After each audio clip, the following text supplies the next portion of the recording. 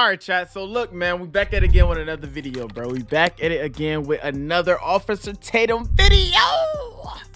So look, I uh, was actually this actually happened last night, right? So let me get a little backstory before we get into the video. It's gonna be quick, I promise you. I know I talk a lot, but it's gonna be quick. Okay, let's get into it. So basically, I was watching the video last night and I was just coming up with so many different ideas. Like I was talking to myself because I seen the video and I was like, oh man, this gonna be a great video to make. You know what I'm saying? I'm mad I watched it, but with the wood, it is what it is. You know what I'm saying? I'm just gonna tell them right off the rip that I watched it, but I already got some some key points I want to you know point out, and I got some things I want to say. You feel me? So, uh, yeah, man we finna go ahead and get to the video, you know. Uh before he said what he gotta say, I'm gonna say what I gotta say so y'all won't think, oh, I'm just listening to him. No, no, no, no. I already have my thoughts into stuff I already put in my head. So hey, it is what it is. So hit the like button, subscribe, turn on post notifications, follow your boy on all social media platforms down below. Without further ado, let's get it, let's go.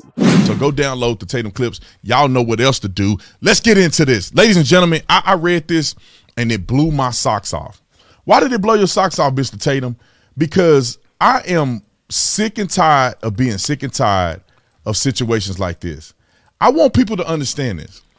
What really caught me off guard was this man said blew my socks off. I ain't never heard a black man say that ever in my life. I, I look, I know, I know, look, I, I understand. Y'all go say, well, you gotta put race on everything. It's just a joke, okay? It's just a joke, okay? Calm, calm your, calm your penises down. It's just a joke. And sick and tired of situations like this. I want people to understand this. Teachers like this lady are responsible in my opinion, based on my life experience and knowledge, are responsible. They're the very ones that's responsible for the degradation and destruction of black people and people of color in our country. She is the very, and, and she is the very uh, personification of the destruction of our young people. Why do you say that, Mr. Tatum? This article is that a boy told his teacher she can't understand him because she's white. Her response is on point. Says who? And, and you know what's crazy? When I seen that, when I seen that clip, okay, no, not even when I seen clip, when he read that, okay, when he read that out loud, I was, I'm look, remind you, I'm laying in my bed, okay, I'm like, whoa, what the, huh? You you can't understand me because you're white, bro. What? First of all, let me break this down to you. Let me break this down to any young person that's watching me right now. Look, we don't have the right to even say or tell any color or race that they don't understand us because they're white or because they're Asian and we're black. They don't know what we've been through. They don't know this. They don't know that. First of all, if you are any age, if you are any age of between, I don't even feel like doing math, but if you are a teenager, a kid, or even if you're in your mid 20s and mid 30s, we don't even have the right to say that. Simply because, bro, slavery was at what, 16, 19, something like that, 16 something? It started around that area, that era, 16 something, okay? 16 something, if I'm not mistaken. Look, I didn't really pay attention to history. I don't, uh, look. Anyways, that's the point. It started around 16 something if you are in your mid 20s, mid 30s, you know, mid 40s maybe, bro, we don't even have the right to say that. Because at the end of the day, we can't tell a person you don't know you you don't understand because you're white. How you know that person that's white don't understand you because of the because of the color of their uh the color of their skin, bro. So I, I say this all the time. White people done been to the, been through the same thing that we've done been through. We just don't see it because the because society don't put it out on the net for people to see it because social media rules our country. Social media rules every single thing. Every aspect of life, social media rules. So when when a, when society puts certain things out on the internet, they put mostly black things out on the internet. Black people getting killed, black people doing this, black people getting shot by white people. By like they put all that because it brings attention. Social media, that's literally controlling everything. But let us put something for from uh let us put something as like a white person getting tortured by another white person or something like that. That ain't gonna get attention because that that person ain't black. That's what I'm saying. Like we can't say we don't have the right to even say things like that simply because we haven't been through it. We don't even know what we've been through. Just because I'm black don't mean I've been through hell. I, I mean, I'm just saying. I'm just saying.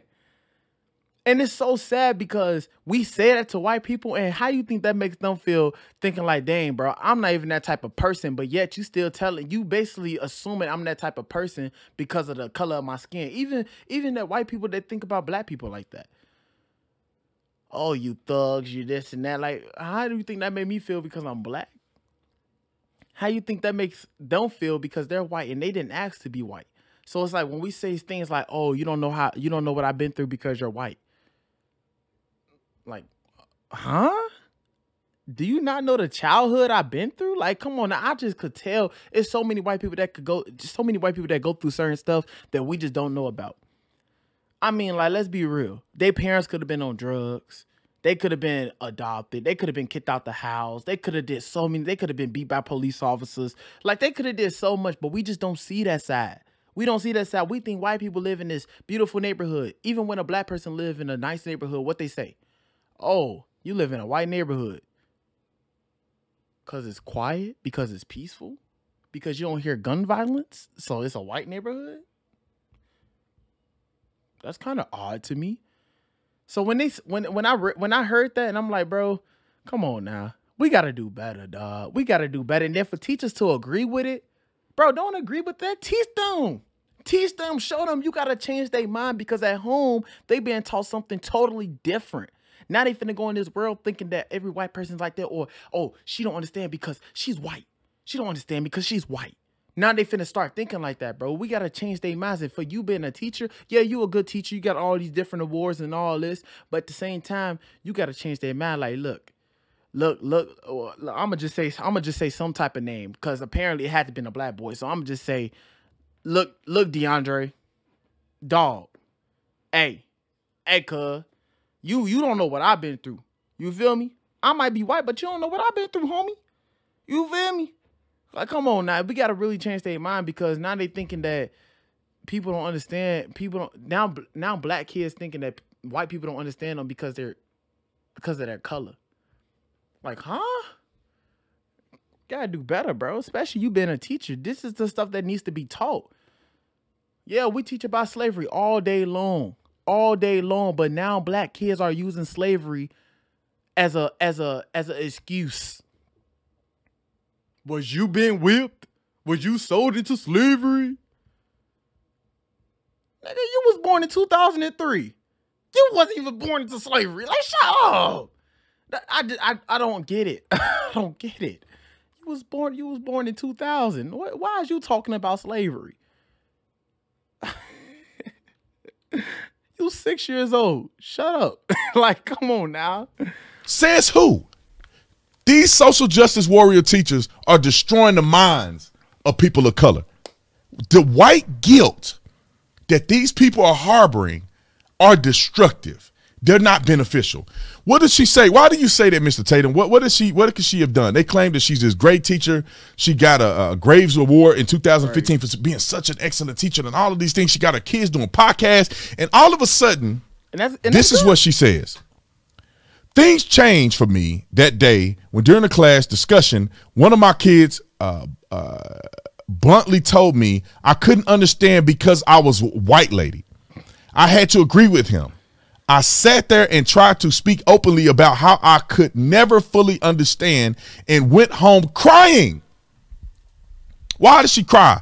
Because my children knew about white privilege before I did. The closest I could ever come was empathy. Why is this a problem, Mr. Tatum? Why is this a problem? Preach. You are making this about race when you don't enlighten your children that understanding somebody has minimal to do with the color of their skin. Why?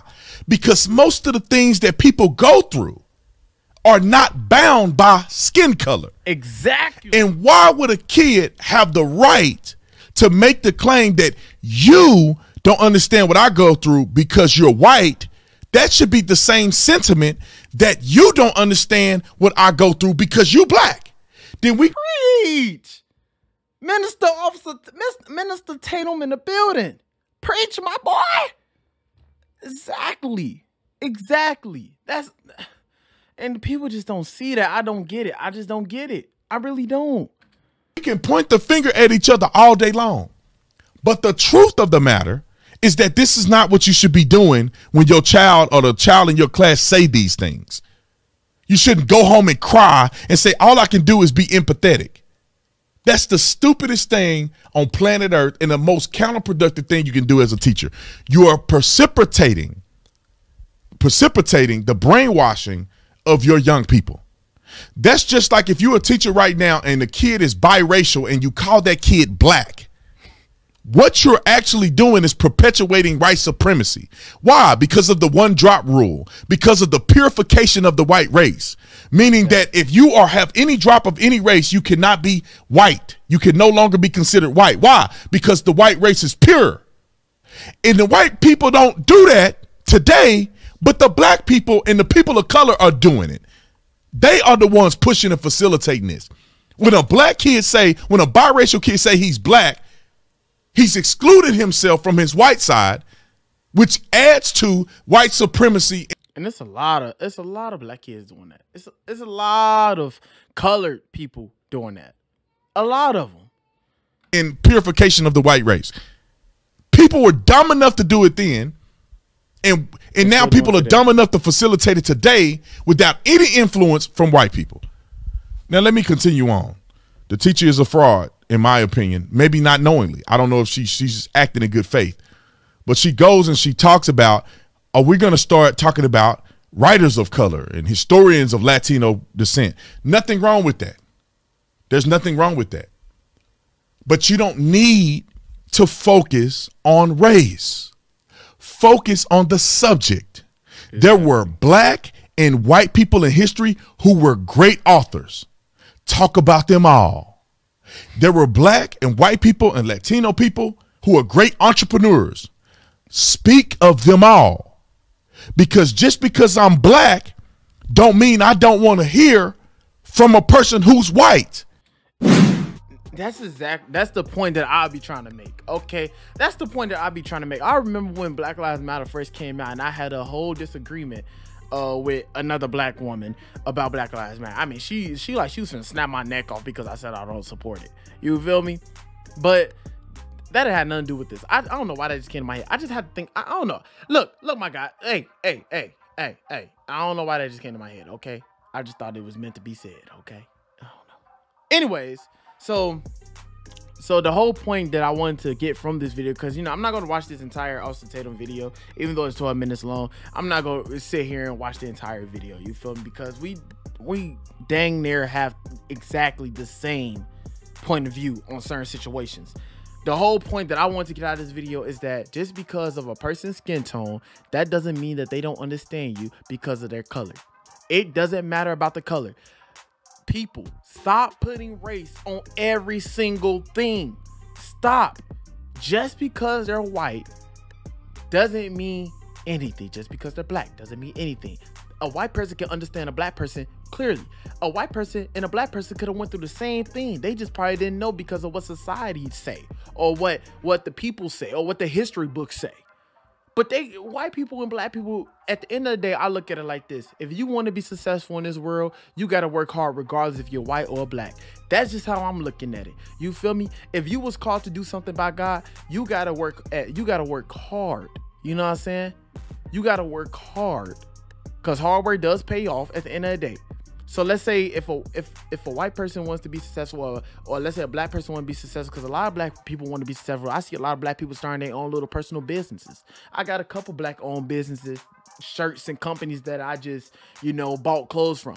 But my whole thing is, if a black person want to be successful, they got to work hard. There's no there's no color in between or whatever. You feel me?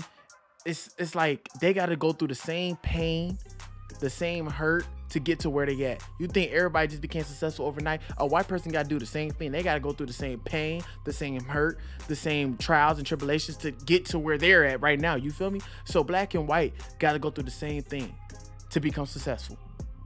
They not just going to get a little uh, what what y'all call it a white privilege card Oh, you want to be successful? You're white. Okay, here's your white privilege card. There you go. Uh, a million dollars is coming your way today, and uh, you get a million dollars every month. You don't got to work. No, it's not like that. You feel me? They got to work as hard as a black person. So my whole thing is, no matter what, if y'all want to say slavery still exists to this day, whatever y'all want to say. My whole thing is white people and black people go through the same thing.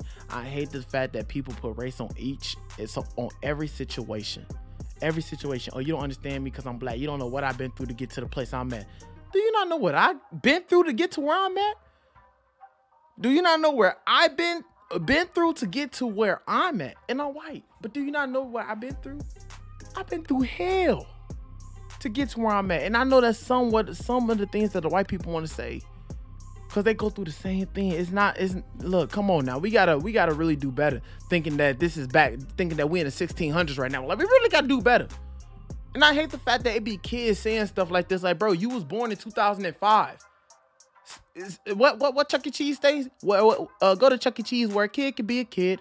Like I mean, like, bro, you was born in 2011. Talking about so you don't know what I you don't know what I've been through. What you got on punishment about three or four times? I show like uh, I, I've been on punishment too. I mean, like, I'm just saying. I'm just saying, like, what have you been through? You was born in 2011. What have you been through? What have you been through? COVID?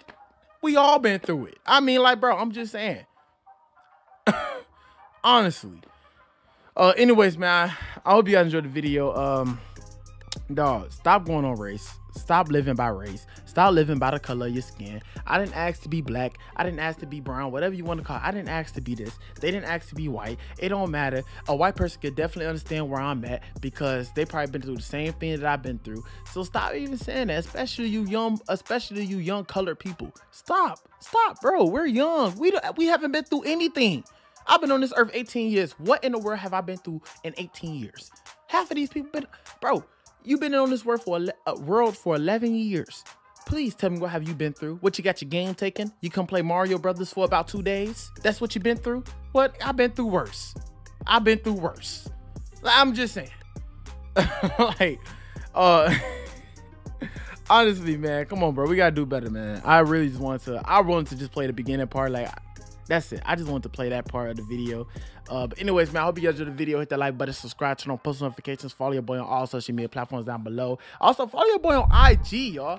Follow your boy on IG, bro. Come on now. Y'all gotta come on, bro. Step up y'all game, bro. We got 30k on here, but we got like two, what, 400, 400 something on IG. Bro, come on, man. Give me to a 1k, bro. Give me one to 1k. You know what I'm saying? Anyways, man, we got actually we got like two something. I lied. But uh, give your boy to uh 1K on Instagram, bro. So yeah, go ahead and follow your boy. I love each and every one of y'all. Hit the like button, subscribe, turn on post notifications. Been your boy, Depend. God bless. Stay blessed. Peace.